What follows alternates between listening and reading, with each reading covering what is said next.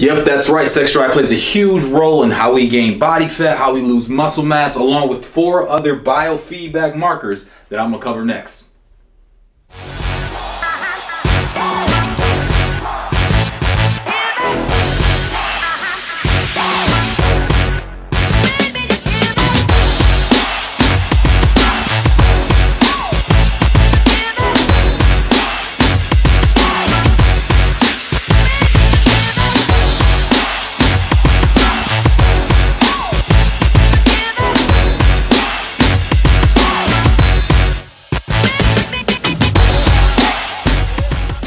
That's right, sex drive along with four other biofeedback markers are hugely indicative of what's going on underneath the hood in your body hormonally. And I'm gonna show you today how to use these biofeedback markers to help you progress in your training for strength, hypertrophy, and body fat loss. Before I get into this video though, be sure to hit the like button on this video, subscribe to the channel, and if you're interested in my coaching services, go to the description and hit the link in the description. But let's get into it. So first and foremost, I use this system with my clients to make sure that our body is feeling good as we are getting into shape, okay?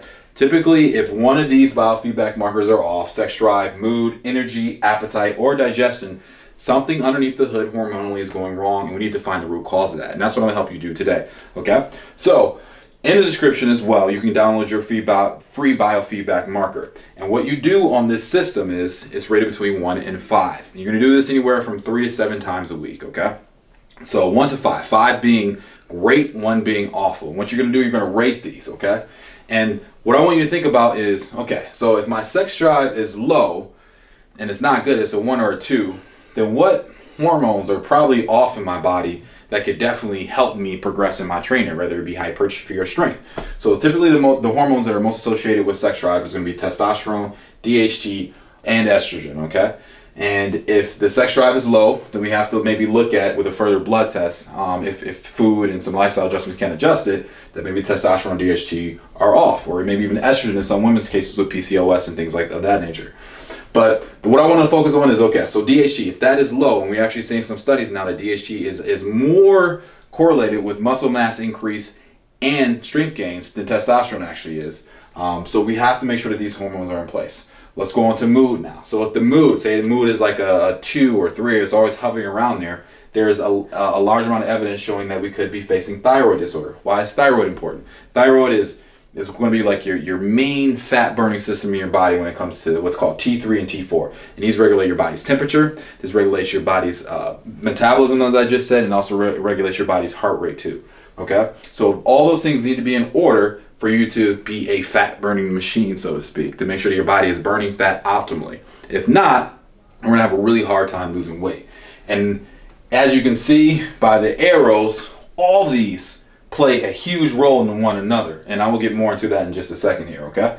The next one being underneath mood. mood uh, leptin. Leptin, okay? So this, this is also correlated with it too as well. So if our mood is off, our mood is low, leptin may also be low as well. Why is leptin important?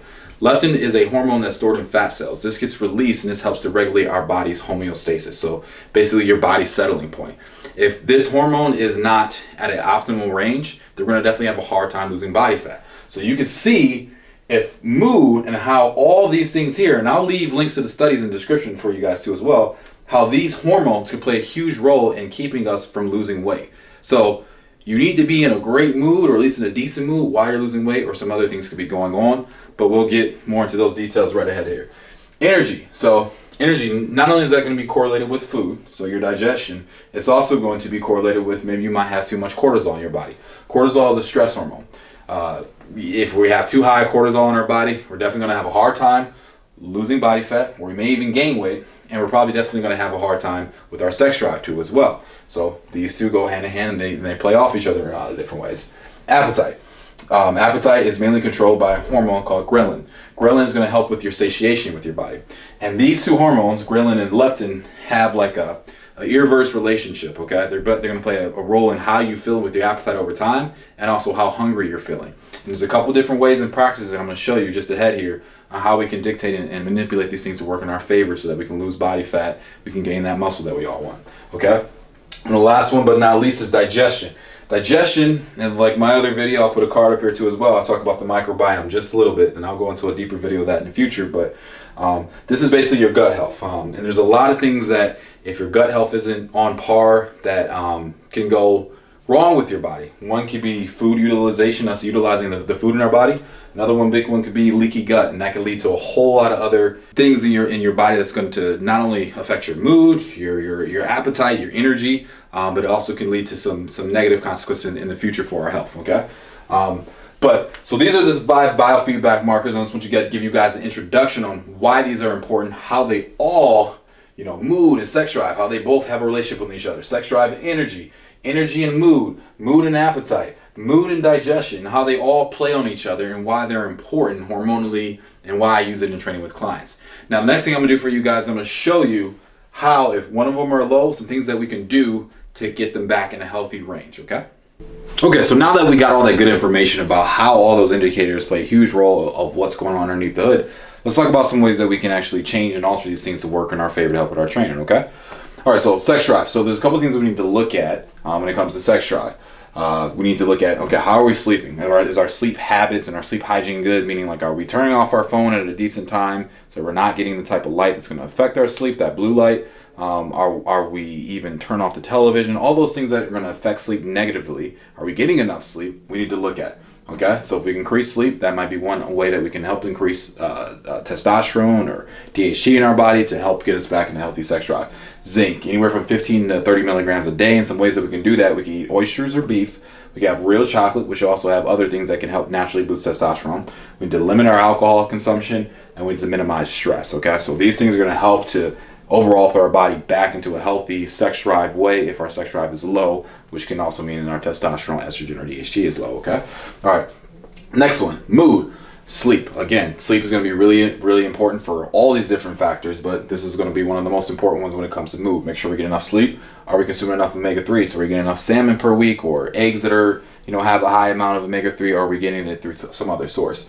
Uh, we need to limit our caffeine intake because this can have a negative role on our digestion, um, which can play a huge role in lowering our mood. Um, we also need to increase our vitamin D. Okay, so if we're not getting enough vitamin D through our diet, if we're not eating dairy or something like that, then we need to maybe look at supplementing some vitamin D.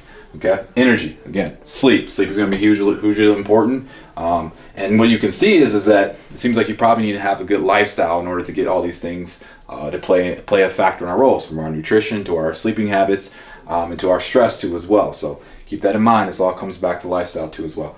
Um, complex carbohydrates can also help increase energy. So uh, sweet potatoes, um, oatmeal, things like that. Um, maybe our diet is just too uh, too low in those kind of complex carbohydrates, and we're having too too many quick or fast acting carbohydrates, the sugar based ones. Okay, um, B vitamins, which are also going to be plentiful in some carb- complex carbohydrates too. Appetite and digestion. I put these together because these play a hand uh, in each other, and they play a huge role together. Uh, soluble fiber. This is a form of fiber that helps with prebiotics, so it helps with your gut health. Um, uh, probiotic foods. So that could be yogurt, that could be sauerkraut, or you can even supplement with a probiotic. But I also, I well, I always like to recommend that you get it actually through your food because you're going to get other micronutrients that are important. Water, water is really important. Uh, just making sure that everything's smoothly and uh, uh running smoothly through your digestive tract and you're well hydrated. Uh, vitamin A, D, and E. You can get this from nuts, carrots, sweet potatoes, salmon, and egg yolks. Okay, so the whole thing that I want you guys to focus on is is making the stuff, uh, you know, thinking about it bigger picture. Okay, so if one of these things are off, what are some things that I can do um, to get it back in the right order to make sure that my body is in the most optimal position? And and let's be real here. I think a lot of times that we don't talk about is like what is a optimal body fat. All right, um, and what I mean by be real is because the leaner that you get, man or woman, um, these things are gonna go to the crapper. Okay, so for men, it's typically going to be anything underneath a true eight percent. Like it gets things get pretty rough, and no matter what you really tend to do on those things, you're really just kind of like you're fighting a battle that's uphill. Uh, for women, you any anywhere underneath 16%, it's typically going to have that same effect. So what I want you to focus on is like if you're looking to optimize your performance and also look great, meaning like you have separation between your muscles, you know your abs are in, you know you, you look great, you feel great. Typically for men, that's going to be anywhere from like 10 to 14 percent depending on the person. And for women it's going to be anywhere from like 16 to 21 percent uh, give or take a few percentages uh, but those are realistically going to be real uh, body fat percentages that you'll feel great um, and you also perform great too as well. And that's my t3 method is getting you there in that in that uh, right perfect body fat percentage to, uh, with also optimal performance Be sure to hit that like button, subscribe to the channel, and if you're interested in my coaching services, check out the description and be sure to download your biofeedback tracker in the description too as well. And you guys have a great day. And any more videos that you guys want me to cover, hit it in the comment box and I'll be sure to cover that for you.